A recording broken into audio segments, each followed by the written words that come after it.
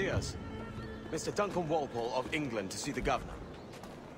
I believe he is expecting me. Sí, señor Walpole. Entre, por favor.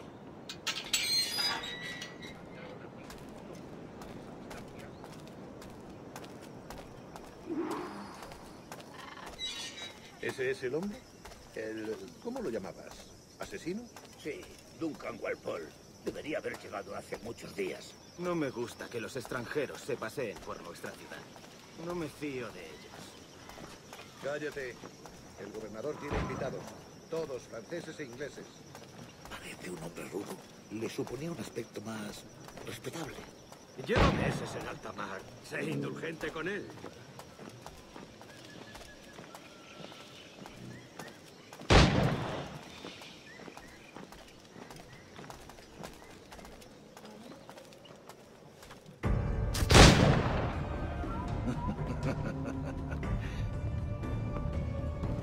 Morning, sir. Would I be correct in thinking you are Duncan Walpole? I am indeed. I thought as much. Woodes Rogers. A pleasure. The same. I must say, my wife has a terrible eye for description. I'm sorry. My wife. You met her some years ago at the Percy's Masquerade Ball. Ah, quite. She called you devilishly handsome. Obviously a lie to stoke my jealousy. Julianne, our guest of honor has arrived, Mr. Duncan Walpole. Ah. Julien du Casse. I hope your conversion to our order is an honest one. I have no love for assassins, but even less for liars. I have not come to disappoint. Up for a bit of sport, Duncan? The old man isn't ready just yet.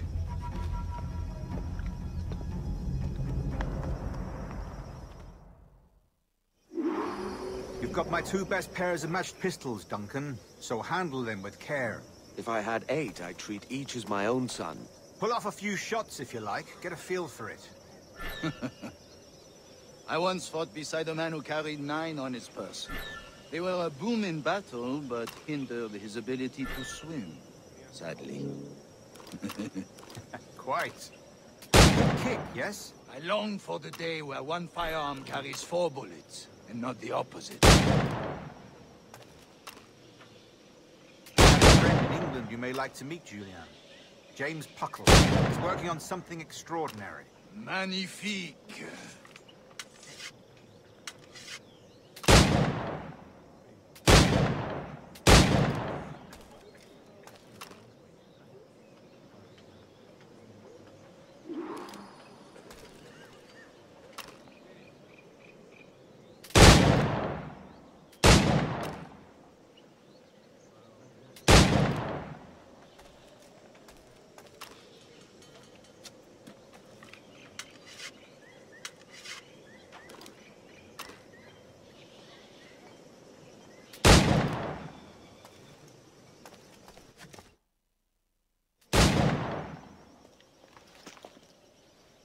Duncan, where are your wrist blades?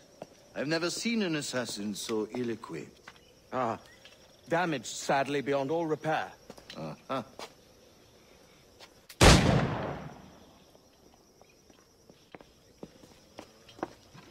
Have your choice. Where did you find all these? I did not find them. I took them. These are souvenirs.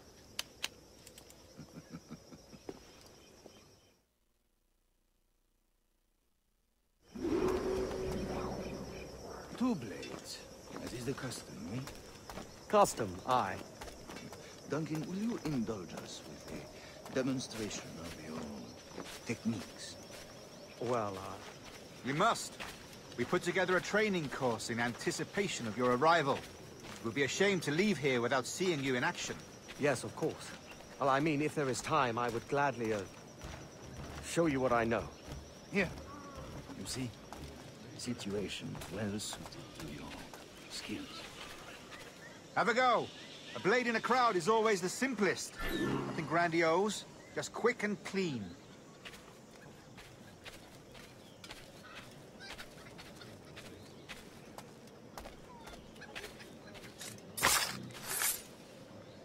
Show us another technique.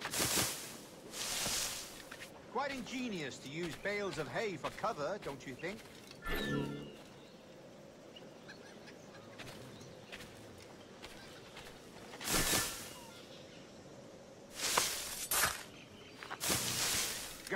That's the spirit.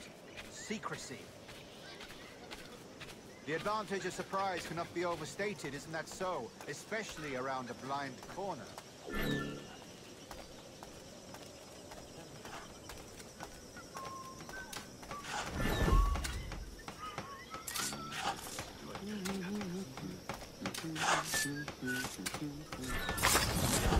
God blind me, that's a clever trick.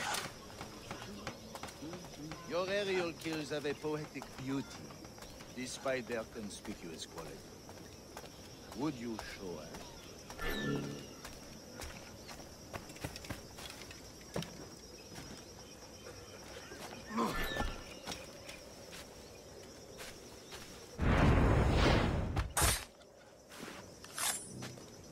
Magnifique. Is it also possible to deliver a killing blow at high speed?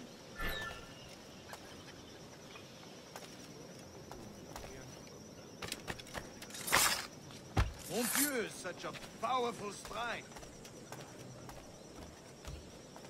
Fascinating.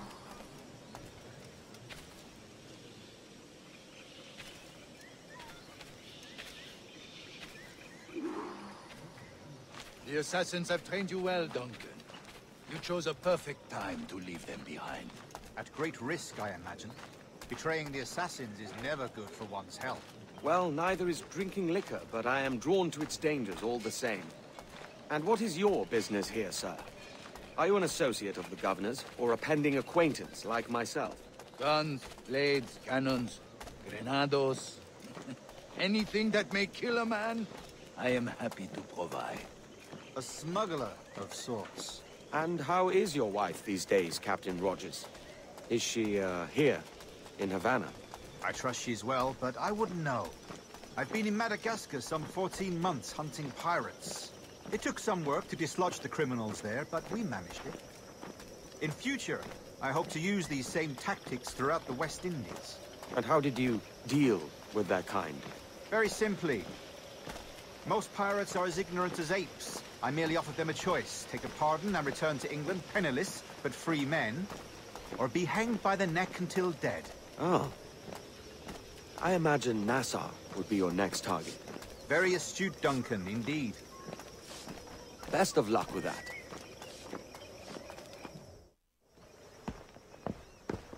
Grandmaster Torres! Mr. Duncan Walpole has arrived. See. You were expected one week ago. Apologies, Governor. My ship was set upon by pirates. We were scuttled. I arrived only yesterday. Unfortunate. Forgive my caution, but were you able to salvage from these pirates the items you promised me? Uh, yes, sir, I was.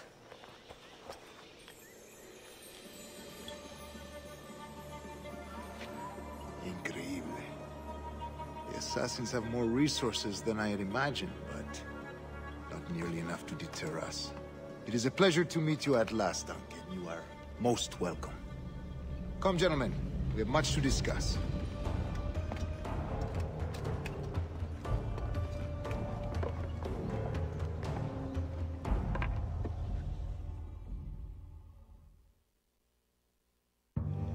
Convened at last, and in such continental company. England, France, Spain, citizens of sad and corrupted empires. But you are Templars now, the secret and true legislatures of the world. Please, hold out your hands. Mark and remember our purpose. To guide all wayward souls till they've reached a quiet road. To guide all wayward desire till impassioned hearts are cool. To guide all wayward minds to safe and sober thought. By the Father of Understanding's light, let our work now begin.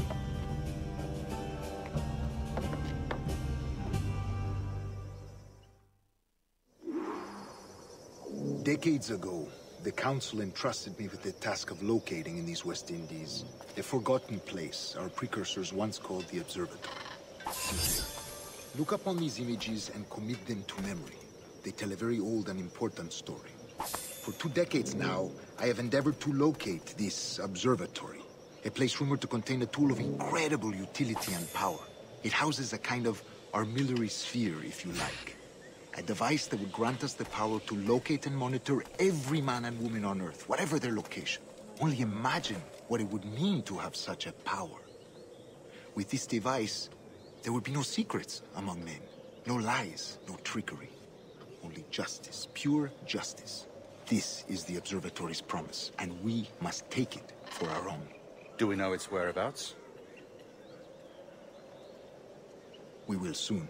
For in our custody is the one man who does, a man named Roberts, once called a sage. It has been 45 years since anyone has seen a true sage. Can you be sure this one is authentic? We are confident he is. The assassins will come for him. Indeed they will. But thanks to Duncan and the information he has delivered, the assassins won't be a problem for much longer. All will be made clear tomorrow, gentlemen, when you meet the sage for yourselves. Until then, let us drink. Let us find the observatory together. For with its power, kings will fall, clergy will cower, and the hearts and minds of the world will be ours.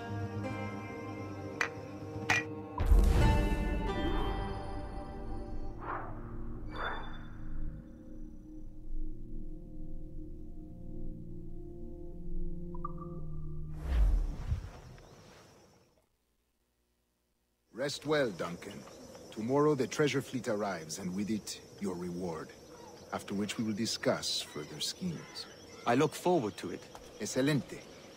Meet me down at the docks first thing tomorrow morning.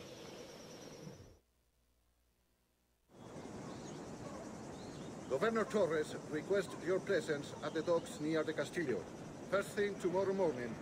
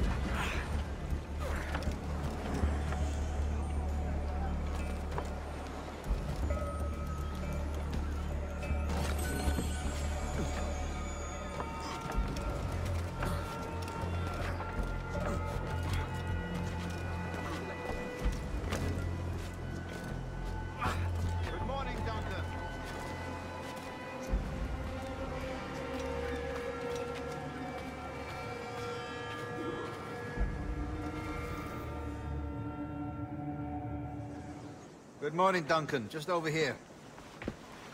Edward? Hello, Edward! I found a man to purchase my remaining sugar! Huh? Quite a coup, I must say. He just called you Edward. Oh, that's the merchant who sailed me here. Out of caution, I gave him a false name. Ah, well done. We'll catch up on it. Later. Very punctual, Duncan. This way. Here he is. A man both Templars and Assassins have sought for over a decade. I am told your surname is Roberts. Is this so? You recognize this, I think. According to old tales, the blood of a sage is required to enter the observatory. We have the key. Now we need only its location. Perhaps Mr. Roberts will be eager to provide it. Transfer him to my residence.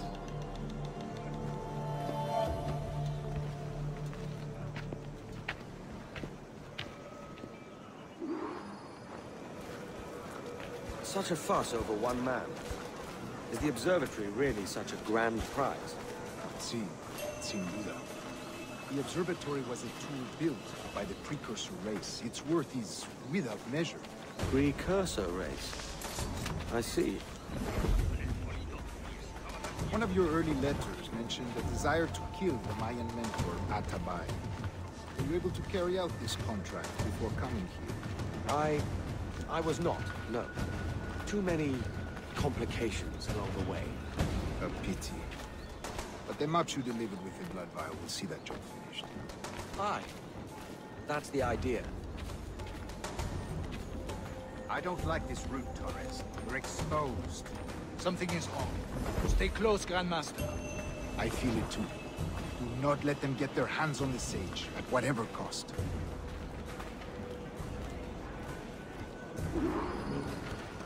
Assassins! はい。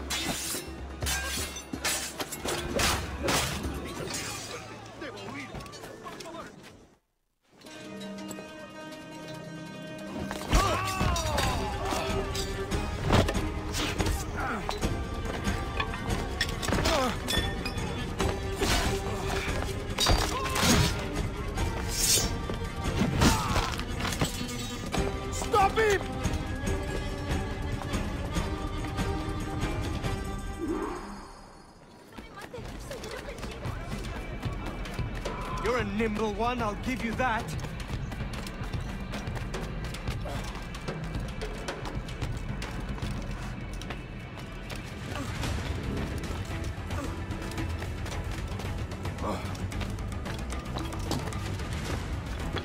Hang back and make this easy on both of us, mate.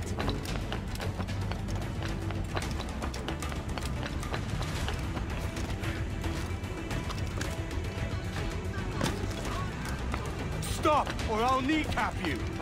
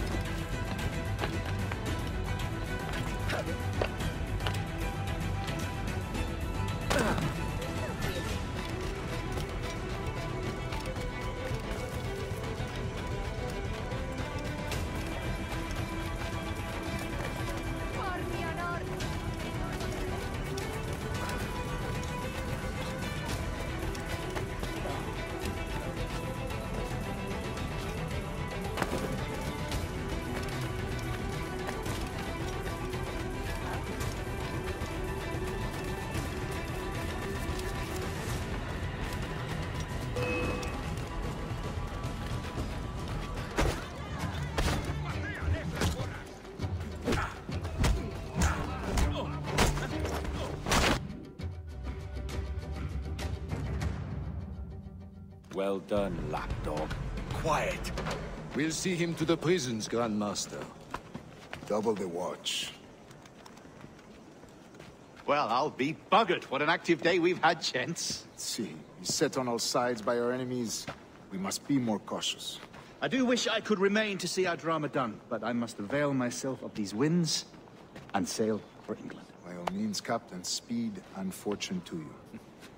With luck, I'll return myself a governor. And with my idiot king's blessing, no less. Adios. As for you, Mr. Walpole, I consider this the first payment in a long-term investment. Gracias. Obliged. I would like you to be present for the interrogation tomorrow. Call around noon. Yes, sir.